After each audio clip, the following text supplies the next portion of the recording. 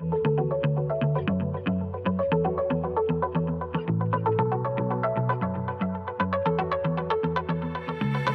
and welcome to Star Diary, the podcast from the makers of BBC Sky at Night magazine. You can subscribe to the digital edition of the magazine by visiting iTunes, Google Play, or Apple News, or to the print edition by visiting skyatnightmagazine.com. Greetings, listeners, and welcome to Star Diary, a weekly guide to the best things to see in the Northern Hemisphere's night sky. As we are based here in the UK, all times are in BST. In this episode, we'll be covering the coming week from the 14th to the 20th of October. I'm Ezzy Pearson, the magazine's features editor, and I'm joined on the podcast today by Mary McIntyre. Hello, Mary. Hi, Ezzy. So, Mary, what do we have coming up in this week's night sky? Another busy week with lots to see. So, we've got plenty of planets on show to look for. The biggest supermoon of the year. Some stars of the Pleiades are going to play hide and seek with the moon, and hopefully, a naked eye comet plus debris from two other comets will be visible in our night sky. Ooh, sounds like a lot to be getting on with. Yes, so much going on at the moment. So I'm going to start off with the planets. Venus is in the evening sky moving from Libra into Scorpius. It sets at about 7:10 p.m. So although that's an hour and 10 minutes after the sun, it is still going to be struggling against the brightness in the twilight sky. So you're probably going to need binoculars to see it this week, but it is there and it's going to get better over the coming weeks. Saturn is in Aquarius this week, visible as soon as it gets dark, about 17 degrees above the southeast horizon. It sets at about 3:30 in the morning, and on the 14th of October, it's just half a degree from the moon, so that'll be a nice pairing to look out for. Saturn has some interesting things to look out for up close. On the 18th of October at 9:30, there is a shadow transit of Saturn's moon Rhea, so that's a second largest moon of Saturn. So all of the big moons will produce shadow transits and that's one that should be visible with a, a good sized telescope. And on the 19th of October at 7:23 p.m., Titan is just 7 arc seconds below Saturn's south pole. So that's incredibly close to the planet. So if you do look at the planet with a telescope or big binoculars, you should just see what looks like a star just below the south pole and that is Titan, Saturn's largest moon. Neptune is to the upper left of Saturn in the evening sky, so it lies below Pisces. It's about 15 and a half degrees above the east southeast as soon as it gets dark. Through the night, it's going to move towards the upper left of Saturn and it's going to set about an hour and a half after Saturn does. So you'll have a bit longer to spot it. It is going to be around mag plus 7.8, so binoculars or a telescope are needed. Its moon Triton is mag plus 13.4, and with a large telescope, you should be able to observe that continuing orbiting in a clockwise direction. We talked about that last week, so that's still going to be visible this week as well. Jupiter is the brightest planet to see this week. It lies in Taurus, so got plenty of chance to see it through the night. It's mag minus 2.3, so it's unmissable, being the brightest thing in that part of the sky apart from the moon. So that's awesome. It's rising about 8:40 and then it's visible all through the night. Interestingly, the star Tauri is really close to Jupiter all week, and it's going to be less than half a degree away on the 20th. So, if you look at Jupiter through binoculars, you will see the Galilean moons, but you will also see what looks like an extra moon, and that is that star within Taurus, very, very close to the planet. So, that should be easy to see.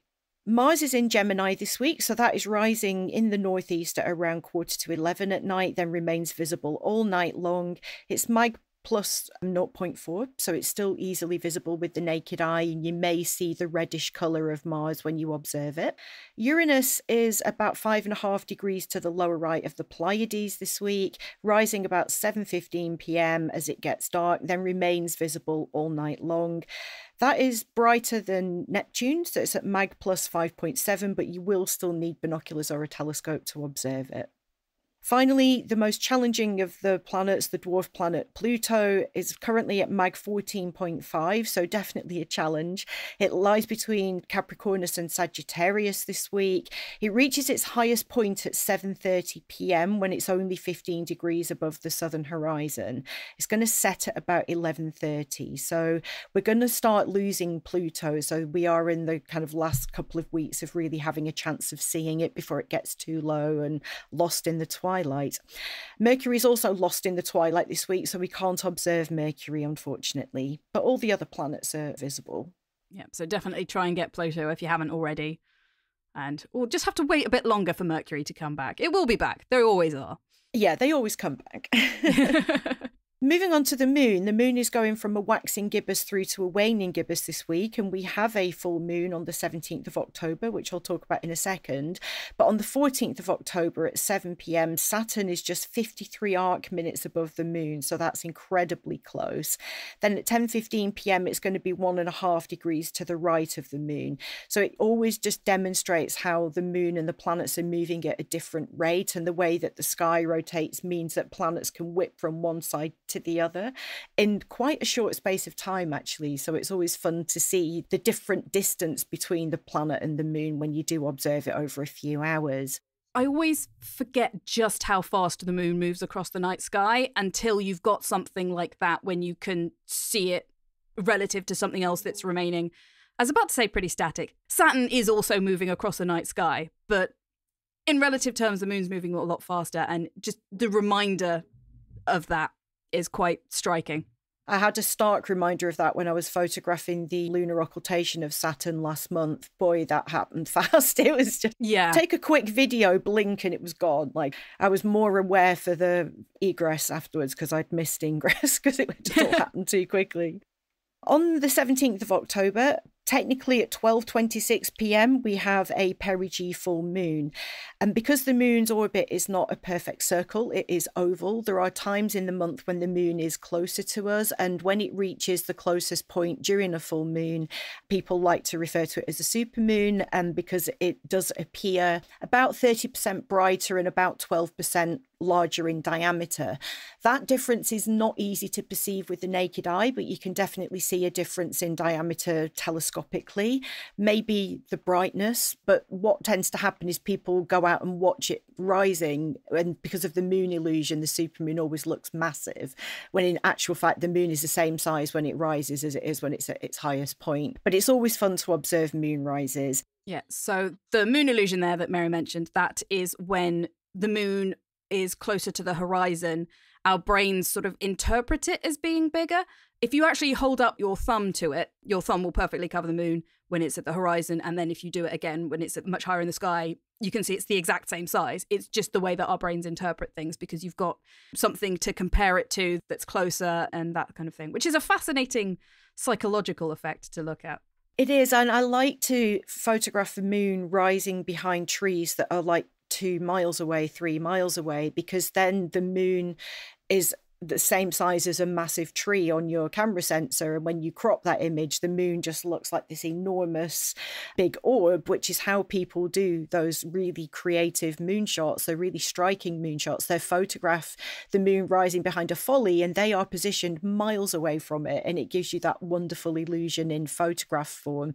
If you photograph the moon rising against a tree in your garden, the moon's tiny next to the tree. So yeah. it's just about the angles, really. And when you see it rising against a distant object, your brain is like, I know how big a tree is. Oh my gosh, the moon is the same size as it. And yeah, it's fun to do it. Every moonrise and moonset is the same. And it's the same with constellations, actually. Constellations look massive when they're near the horizon. So it is an interesting quirk of the human brain. But if you was interested in how far the moon is going to be away on that night, it's 357,367. So its average is about 380,000. I mean, it's, mm-hmm. it's a kind of very small difference, really, when you break the numbers down.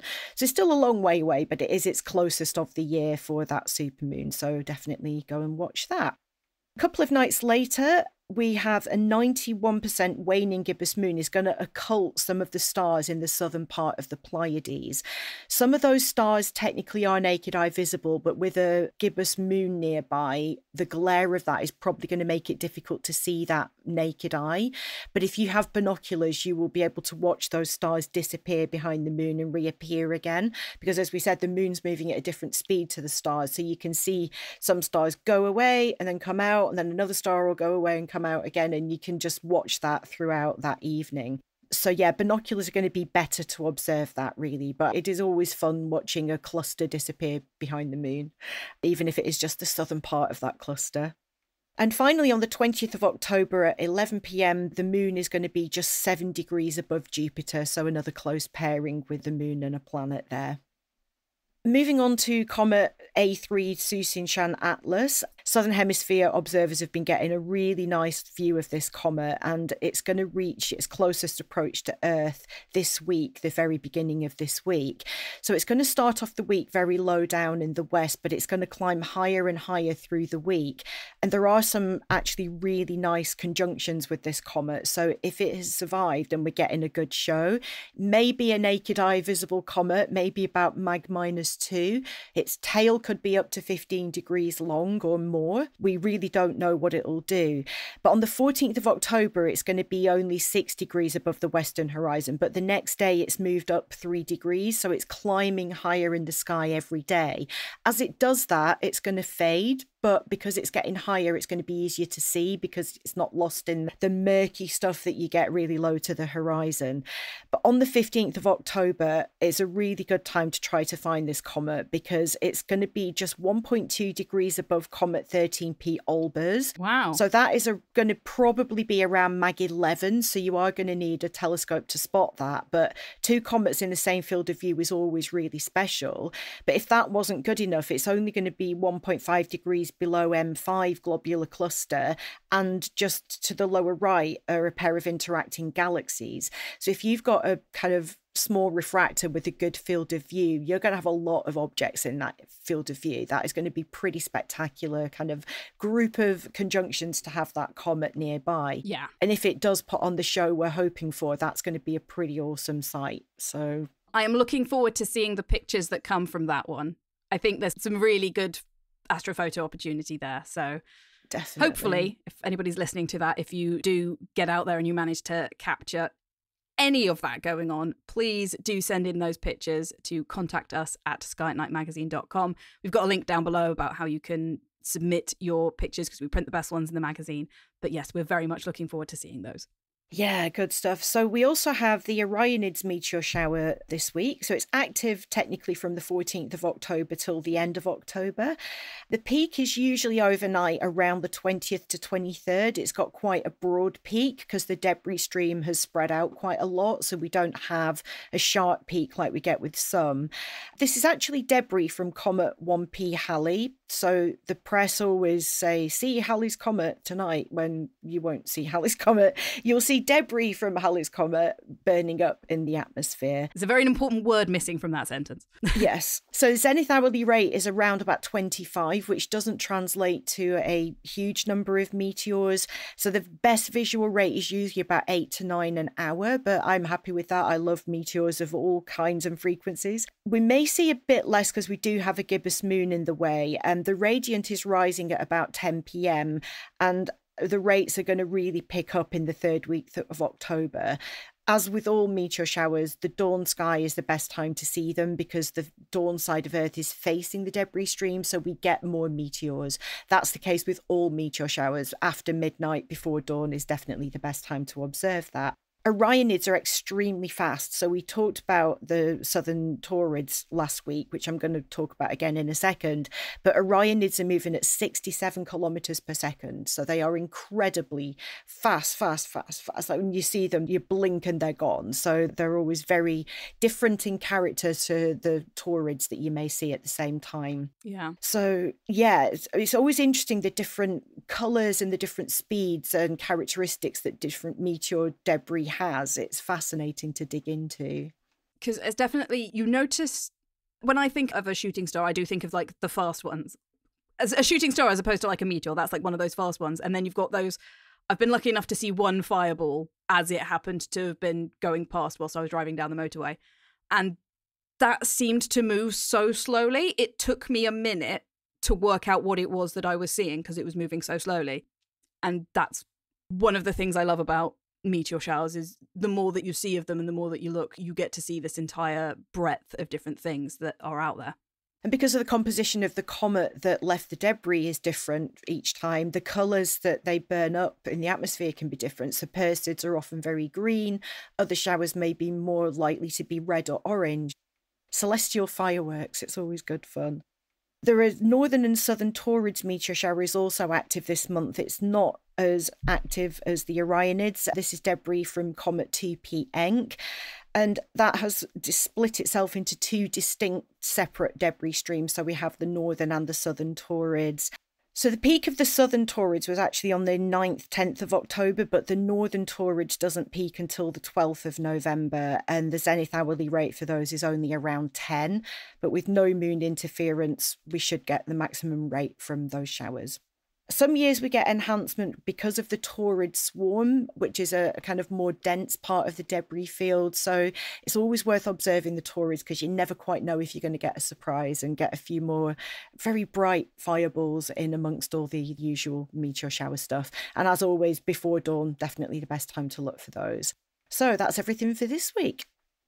Sounds like we've got some really great things to see this week. Remember, if you want to keep up to date with all of the latest goings on in the night sky, do subscribe to the Star Diary podcast.